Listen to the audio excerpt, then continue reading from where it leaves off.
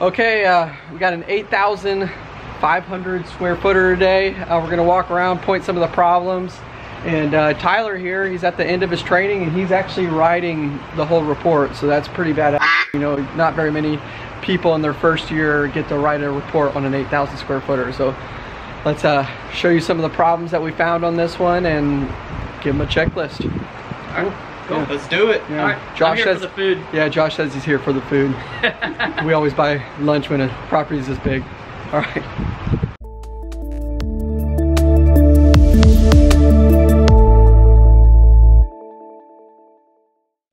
So right here, laser pointer request, but you can see we need caulking improvements in between light fixtures and the adhere veneer stone. One of the last houses I did, you could see where it was full dimensional stone, regular stone, and how you tell the difference between full dimensional stone and AVS, adhere veneer stone, is the actual depth of the windows. You can see how these are flush. That means this stone is installed exactly like stucco. So you can see the overhead flashing, and it's flush. So you're gonna have a weep screed at the bottom. You see a weep screed at the bottom there. So you need to seal all the points around hose bibs, doorbells, light fixtures, and around the windows, installed exactly like stucco. We're calling this out too. I don't know if they're gonna change it, but you need um, no wood to ground contact. This is just gonna rot over a period of time. And then also at the top here, you need overhead flashing on any transition here because water is just gonna roll down the Hardie, get behind this transition and travel down the pillar. So you definitely wanna repair that too as well. Josh spotted this one, uh, where the conduit's pulled loose at the, the gate motor. Over here, the adhere veneer stone is too close to the ground. You need a, at least a two inch clearance from the ground, a hard surface. And this is actually kind of hard to determine between hard surface because it's just sand and stone. So, but technically I'm gonna go two inches up. It is underneath the patio, but if you get any wind driven rains, water's gonna make it to that adhered veneer stone. Next spot is actually right above here. Technically, you need overhead flashing for the garage door, but since we're underneath a underneath like a patio, I'm not going to call it out or stress it because water is not going to make it over here. We're also going to call out that the wood to ground contact around the garage door as well, the trim, because water can easily travel across here and hit this and it will rot out over a period of time and also a perfect area for termites. So another spot right here, they mortared instead of used caulking around the exterior of the panel boxes. This will work in time, but this mortar will eventually break loose. So we recommend for elastomeric caulking around the exterior of the panel boxes and they just didn't do it on this one at all.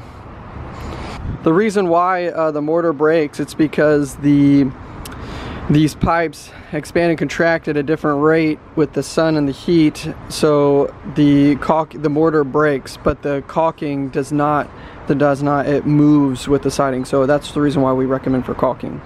Next spot was actually where the Hardie comes down and rests on top of the stone. You actually need you need a flashing over the this projected trim we know we don't have it because we saw it across the balcony and I'll show you that later in the video.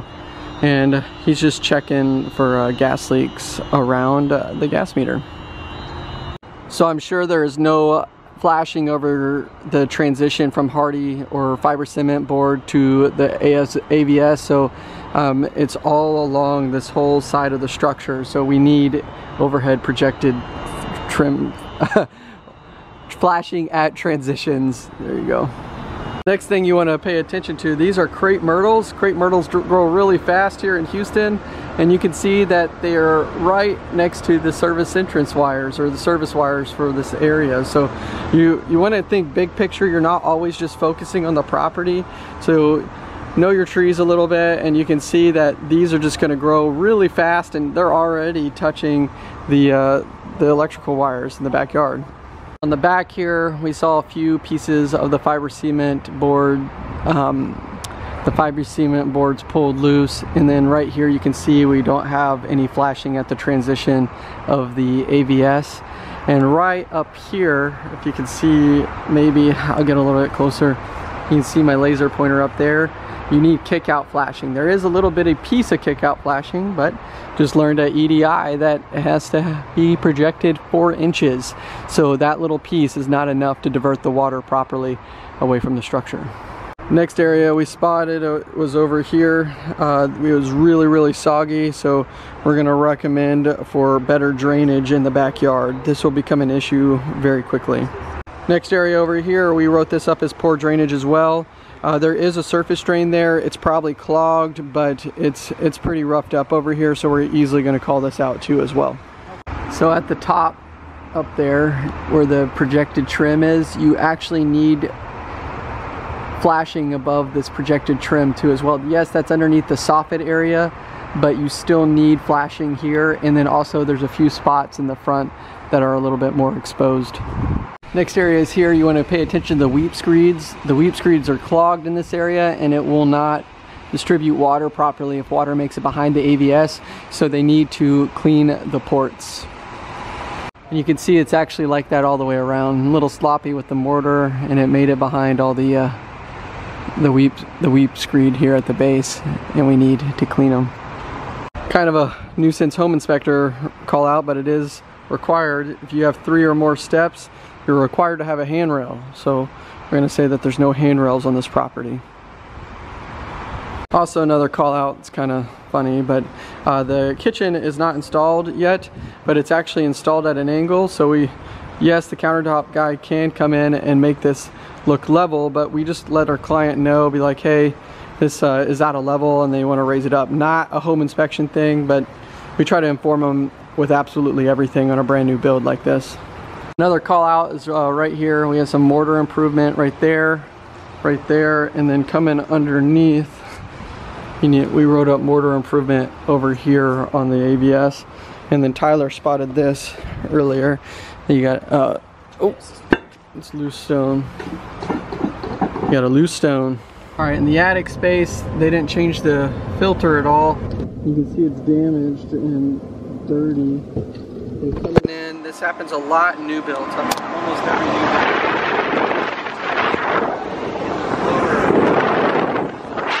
build. So easy call outs. And uh, we're gonna you can we're gonna head that way next uh, to check that out. Check out and see what's over there. On the uh, coil side, they have a um, capped secondary drain line. They do have a float switch, but you still need the secondary drain line. And then the, the pan drain line actually travels up. So we need to reslope the pan drain line. This will not drain out properly. And I uh, opened up the hatch here. I just got a lot of sheetrock and stuff blown in my face, so I didn't record it, but the coils are dirty as well. The plumbing stack doesn't have a, a proper slope. There's actually a negative slope that way, so if rainwater makes it down the plumbing stack, it's just gonna rest over there and it can uh, eventually leak. This is why you wanna go to areas you can't see. We had a water heater, we had a lot of faucets not producing hot water and you can see there's no power to this water heater and uh, the gas is shut off and there's not a proper path so you should have a, a walkway or a pathway to get to this water heater so you can service it easily if uh, needed. I also want to mention that you can see the pan's not even properly positioned either. So we need this water heater to be serviced and electricity brought to it so we can get it operational. Uh, we have a um, touching ducts and then ducts turn too sharply over there. So uh, easy, easy call outs, easy spots. Keep an eye out for that when you're inspecting. Here at the other tankless water heaters and you can see there's no condensate drain line. If the flue goes straight through the roof, it's uh, required to have one. Also, the pan isn't properly positioned. When I came into the water heater, it was beeping and flashing error code. So I went ahead and plugged it, unplugged it, and plugged it back in. And we're gonna see if that resets it. If it doesn't, then uh, I'm gonna have to come back up here and check again to see if it if it works. But I guess we'll find out because we're gonna go through and test all the hot water again where we didn't have it. Other things we call out is the um, damaged flooring. And then coming around the corner here, we went ahead and said this was loose right here, the hand, the stair rail. You can see easy spot to smash your fingers and this is glass. a little trim board right here will actually secure that in place. We call out uh, the lights showing it, but the actual window is broken right here. And then the cracked and broken glass, we have that in a few of the bedrooms too as well. Balconies, we have some damage fiber cement board. We run all of the faucets for a while to see, and we'll run the infrared to see if we get any leaks in this area. That's the best place for it to leak, so we ran these for a while. And then we're missing backflow preventers. So anywhere you can operate a faucet and let it run for a while on a balcony or a deck, I always do that, just, just, just to see if it's leaking. I'm only gonna hit this uh, one time because all the bathrooms are pretty much exactly the same and they all have the same issues. So they didn't uh, caulk and seal around uh, some of the fixtures. The diverters aren't functioning properly, so whenever we're running the shower, the, the uh, shower sprayer won't run off or the shower head won't turn off. And then also over here in the corner, uh, missing grout too as well. This sink, this was actually the only sink, but you can tell it's clogged and uh, um, the hole and it just slow draining sink. So a lot of a lot of fun finds. Catching some open neutrals. Let's see. Oh yeah, it's open neutral. Another find we had was um, we had some pretty low water pressure coming out of all the faucets in the master bathroom. So writing that up. But one thing that we like to do is we always load test the shower pans. So this is why I like to wear waterproof shoes. Uh, I can walk across this about an inch or two of water and not get any water on my feet.